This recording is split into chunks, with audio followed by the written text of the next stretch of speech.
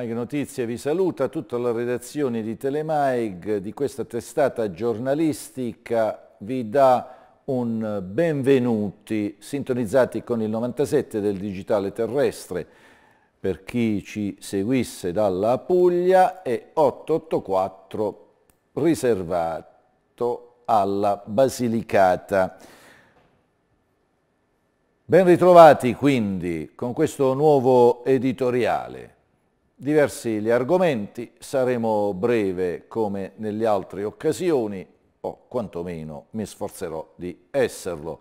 L'importante è aver la voglia di essere brevi. Se poi non si riesce, ecco, ce l'abbiamo messa tutta e spesso lo sentiamo nei confronti non di tutti, ma di quella parte politica che dopo cinque anni di amministrazione dice non è colpa mia, non è colpa nostra, ma ce l'abbiamo messa tutta.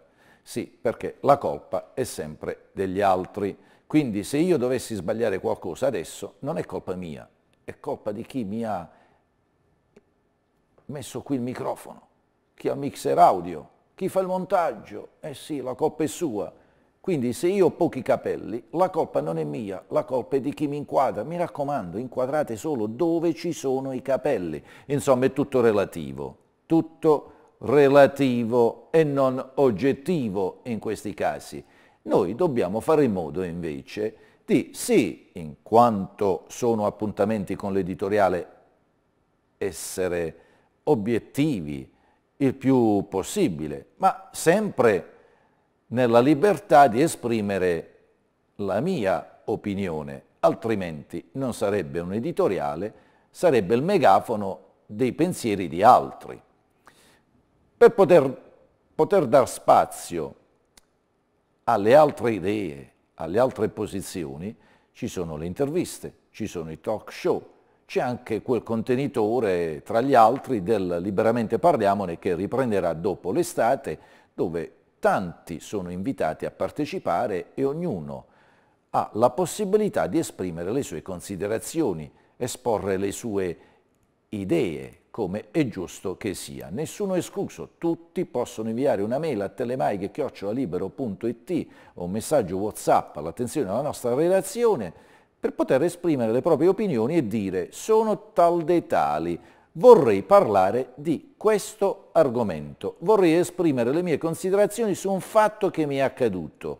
Questo è il bello della nostra programmazione che nel territorio, e ci mancherebbe, ha piacere nel vedere queste segnalazioni portate alla nostra attenzione e poi diventare bagaglio di tutti. Le mettiamo a disposizione di tutti coloro i quali ci seguono. Le vaccinazioni. E dai, non vi spaventate. Eh sì, lo so, ve ne parlano dapper, si ne parla dappertutto, ve ne parlano tanti, ma eh, eh, il Green Pass, ne abbiamo già parlato, prima ancora che ne parlassero gli altri, ci piace arrivare in anticipo, questo dimostra che nel Sud ci può essere qualche piccola televisione, qualche piccolo artigiano, qualche piccolo professionista, qualche piccolo essere umano che abbia delle idee che hanno la necessità di camminare dove? Eh, sulle gambe di una struttura che lo Stato deve mettere a disposizione, altrimenti questi piccoli uomini farebbero la rivoluzione e non si può fare la rivoluzione. E qual è la differenza tra i rivoluzionari e uno Stato democratico rispetto a questo mio dire? Che le idee ci possono essere, ma ci deve essere poi un apparato, una struttura, uno Stato, un'organizzazione pubblica che ti mette a disposizione quello che è necessario per concretizzare queste idee senza porre dei limiti. Naturalmente le idee devono essere rispettose della nostra Costituzione, ma non dell'ideale politico di quella singola amministrazione o di quel singolo politico a cui ci si rivolge. E spesso, dobbiamo dire, nel nostro Sud purtroppo avviene questo.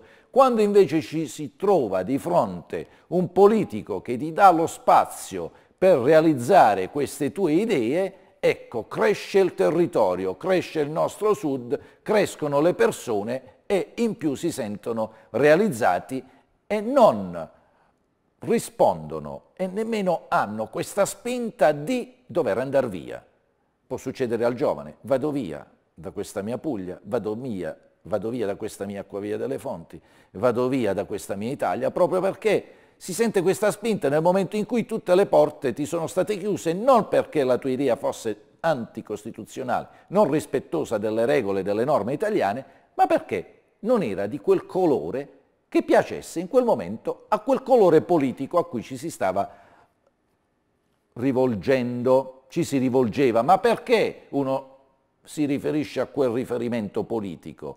Perché è quello magari il sindaco, è quello magari il presidente della regione, magari è quello il presidente della città metropolitana, è lui l'istituzione, non si può scegliere, è stato già scelto elettoralmente e a lui mi rivolgo. Fatta questa premessa, l'informazione è essenziale, conta moltissimo, come quindi diventano importanti coloro i quali vivono e sono i professionisti dell'informazione e quindi i giornalisti, che attraverso la loro professionalità devono fare in modo che si possa fare un'informazione il più possibile coinvolgente, corretta, trasparente, senza lasciare indietro nessuna idea, nessuna voce, perché altrimenti, come è successo per AstraZeneca, la fiducia nei confronti del vaccino, di quella determinata vaccinazione, viene meno. Più si è informati, più gli utenti sono a conoscenza degli argomenti e quindi in questo caso dei vaccini, delle somministrazioni, delle regole, dei paletti, di come prenotarsi, del perché vaccinarsi, è sicuramente più probabile che si, si abbia, ci sia, ci sia questo coinvolgimento, questa voglia di andarsi a vaccinare. E questo lo deve fare lo Stato. È lo Stato che ci deve dare la possibilità di camminare. Ci deve dare le basi su cui noi poi dobbiamo poter proseguire la nostra vita senza tracciare un'unica strada. Siamo noi che dobbiamo scegliere la strada migliore. Quindi cosa? Io devo andare alle 13.12 di oggi, giovedì 15 luglio, sulla piattaforma che non me ne vorranno le istituzioni, io l'ho chiamato Pippa, ma è una battuta, non è per eh, sminuire l'importanza della piattaforma, ci mancherebbe, ma perché anziché ripetere il nome che è un po' più lungo, a me piace definirla Pippa, è più semplice, mi piace così. L'avrei potuta chiamare eh, Nicoletta, eh, Rosetta, eh, non lo so, Rosina, eh, Beautiful, non lo so, mi è venuta Pippa e l'ho chiamata Pippa. Quindi andando sulla piattaforma per la, pre, la uh, prenotazione della mia vaccinazione, della mia somministrazione, alle 13.12 io sono di Acquaviva delle Fonti, risiedo ad Acquaviva delle Fonti, sono cittadino nato ad Acquaviva delle Fonti, penso di aver il diritto e allo stesso tempo il dovere di richiedere che mi venga somministrato il vaccino nella città di Acquavia delle Fonti, perché c'è un hub vaccinale. Il dovere perché non vado a dar fastidio a San Michele, per esempio. Eh, non voglio da dar fastidio al sindaco Lorenzo di San Michele. Eh, e perché devo andare a dar fastidio all'hub di San Michele o a qualche altro hub? Se ce l'ho nella mia città, sono bravi, magari li conosco pure e nella mia città mi piace la mia città e ho il dovere di non andare da fastidio a San Michele, per esempio. E quindi mi accingo a prenotare alle 13.12 codice fiscale, ti fanno mettere codice fiscale, la mail, tutte le indicazioni necessarie, comincio a girare, alla fine compare la scritta appuntamento non disponibile. Mi volete dire quando sarà disponibile l'appuntamento? O io devo stare ogni, ogni 5 minuti, ogni mezz'ora, ogni ora a provare di prenotare? Voi direte, ma Gino, queste cose le hai già dette.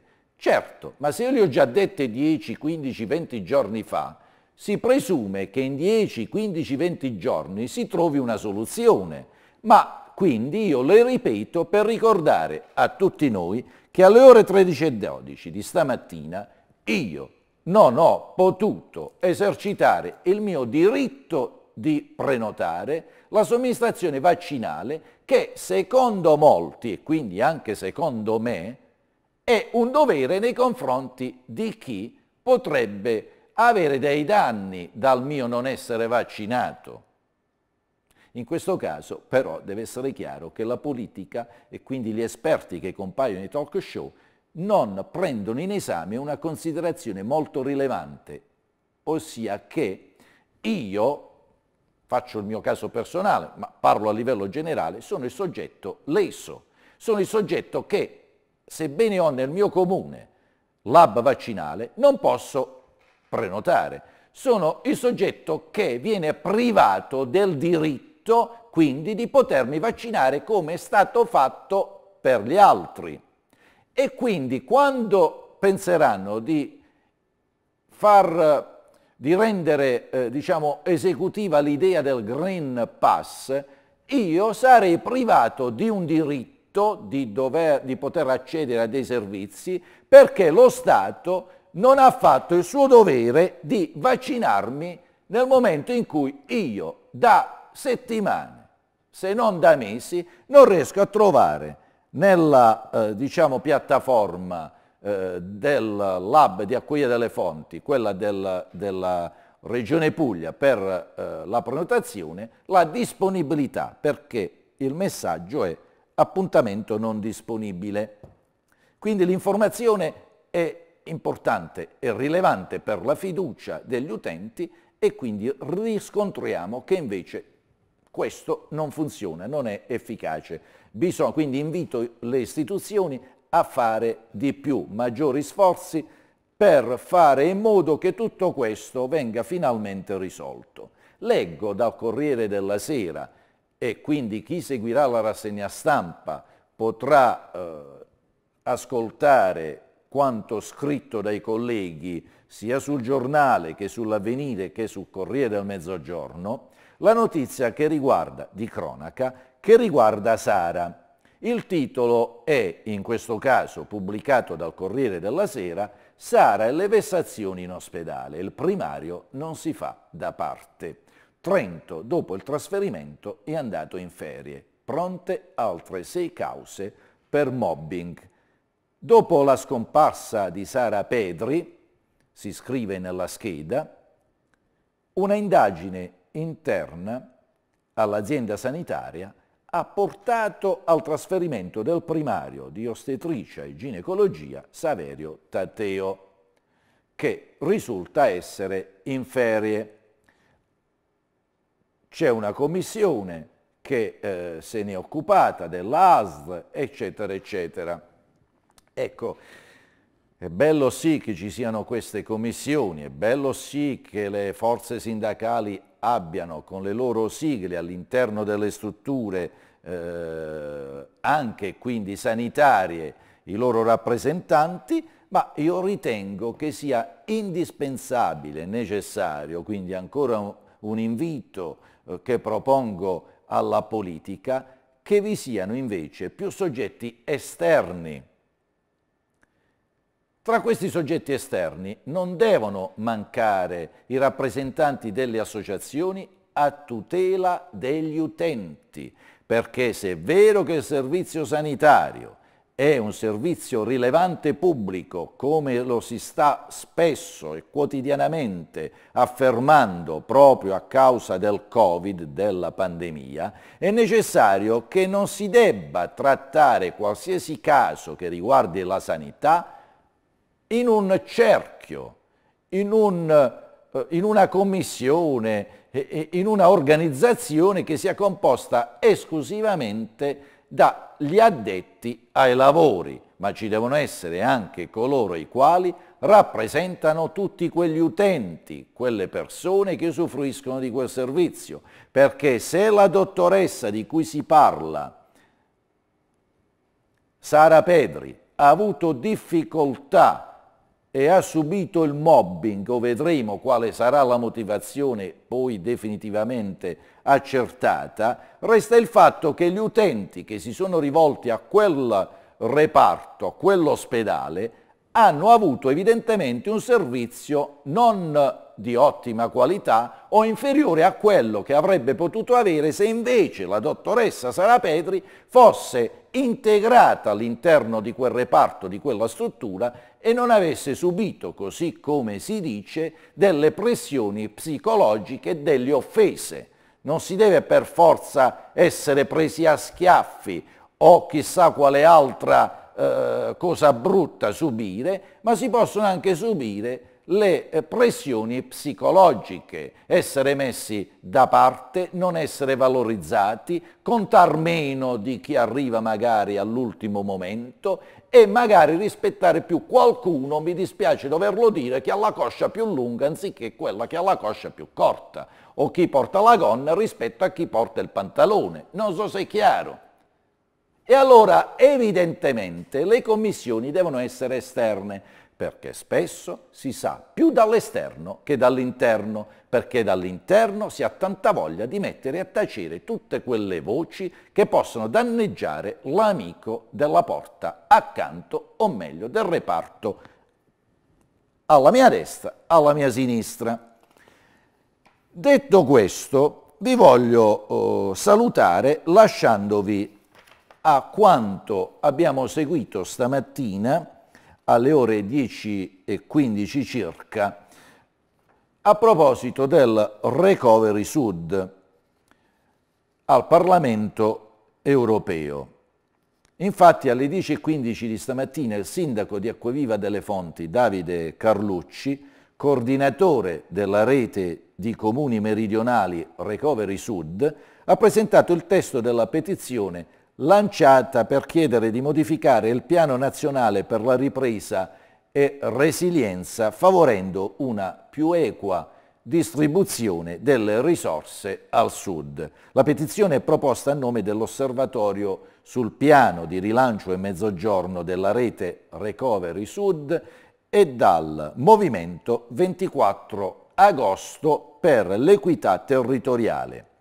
I sottoscrittori contestano l'assegnazione teorica del 40% del PNRR al Sud e chiedono che si intervenga con maggiore decisione per evitare che il Recovery Plan, concepito per favorire la crescita superando il divario nord-sud, finisca in realtà per accentuare questa divaricazione. Seguiamo insieme, in conclusione di questo mio editoriale, l'intervento del sindaco Davide Carlucci in sede europea. Un saluto a voi tutti. E passerei al punto successivo all'ordine del giorno, il punto numero 15, che è la petizione 515-2021. Petizione presentata dal signor Davide Carlucci, cittadino italiano, a nome della rete dei sindaci del Recovery Sud, è corredata da 39 firme, sull'equa ripartizione dei fondi Next Generation EU nell'ambito del Piano Nazionale per la Ripresa e la Resilienza per l'Italia. Eh, il signor Carlucci è qui presente, gli diamo il benvenuto e ha due minuti per uh, spiegare la sua petizione. Prego. Grazie. Eh, egregi parlamentari, egregia Presidente della Commissione Petizioni del Parlamento Europeo, Dolores Montserrat.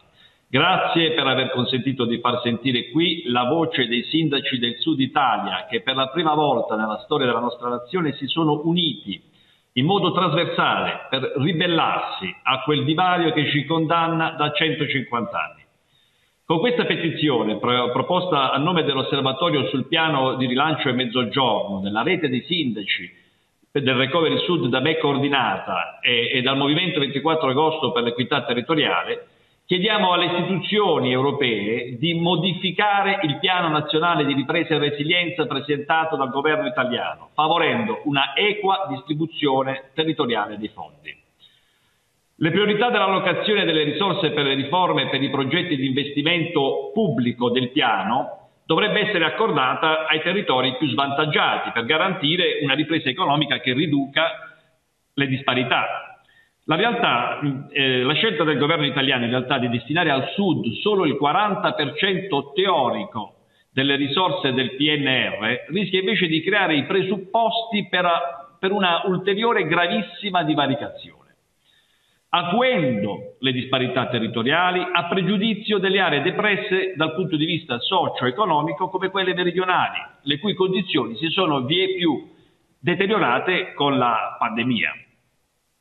80 miliardi di euro, di cui solo 22 certi, ricordiamolo come ha dimostrato l'economista Gianfranco Viesti, sembrano una cifra enorme. Non lo sono però se si considera quanto sia cronico e difficile da sradicare il, il, dislivello, il nostro deficit di sviluppo che, come dicono da anni economisti, centri studi e lo stesso Presidente del Consiglio Mario Draghi, anziché diminuire si aggrava sempre di più.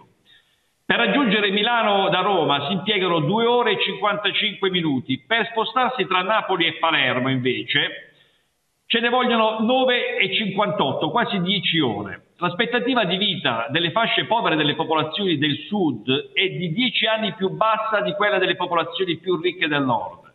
Un bambino residente nel mezzogiorno ha un rischio del 50% in più di morire nel primo anno di vita rispetto ad uno che nasce nelle regioni del nord. Questo non avviene per caso. Succede perché la spesa per interventi nazionali finalizzati allo sviluppo del Mezzogiorno è scesa dallo 0,47% del PIL italiano degli anni 90 allo 0,15% del 2015, ben 5 volte meno rispetto al periodo dell'intervento straordinario. I fondi europei hanno sostituito solo in minima parte e in aperto contrasto con il principio europeo di addizionalità il mancato impegno delle politiche nazionali di riequilibrio. Ecco perché è importante che al Sud sia dato ciò di cui ha realmente bisogno. Serve una cura da cavallo, non un'aspirina. Ed è altrettanto importante blindare l'allocazione delle risorse attraverso graduatorie per macro aree, per evitare che una volta messi a bando i finanziamenti stanziati dall'Europa per il Sud finiscano in realtà al Nord, dove i comuni sono più attrezzati, meno distratti da emergenze sociali e più ricchi e quindi più in grado di cofinanziare. In questo modo quel 40% che pure insufficiente rischierebbe di volatilizzarsi. Grazie al federalismo fiscale, infatti, i comuni del sud si sono impoveriti, svuotati di personale, hanno tante idee ma pochi progetti nel cassetto. Come può un comune come Acquaviva delle Fonti, il mio comune con 54 dipendenti, competere con Feltre, che a parità di abitanti ne ha 125? Come può Andria, con 290 dipendenti, competere con Piacenza, che ne ha 630? Ecco il circolo vizioso in cui siamo intrappolati qui al sud. Più siamo poveri e meno abbiamo possibilità di uscire dalla nostra condizione. E nessuno può accusarci di indolenza o incapacità nell'utilizzo delle risorse. Recovery Sud ha realizzato un libro bianco con tutte le proposte progettuali dei comuni meridionali. Lo hanno scritto amministratori che si dannano perché non hanno ingegneri, sindaci o assessori che non potrebbero permettersi il lusso di fare pianificazione, perché in questo momento stanno negli hub vaccinali a dare una mano concretamente, oppure devono dare risposte agli agricoltori in ginocchio per la siccità. Avevamo chiesto 5.000 giovani progettisti per i nostri comuni, ne hanno messi a bando 2.800 e si sta coprendo solo la metà dei posti. Così partiamo male, cari amici dell'Unione Europea, e noi non vogliamo che il recovery in Italia sia un flop. Chiediamo quindi che la Commissione Peti mandi una lettera al governo italiano chiedendo chiarimenti su questi punti. Chiediamo inoltre che la petizione rimanga aperta Chiediamo di monitorare con la massima attenzione l'attuazione del PNRR da parte dello Stato italiano. Noi non vogliamo perdere anche questo treno, non vogliamo continuare a vedere i nostri giovani andare via, non vogliamo sentire più parlare di una nazione divisa in due. Grazie.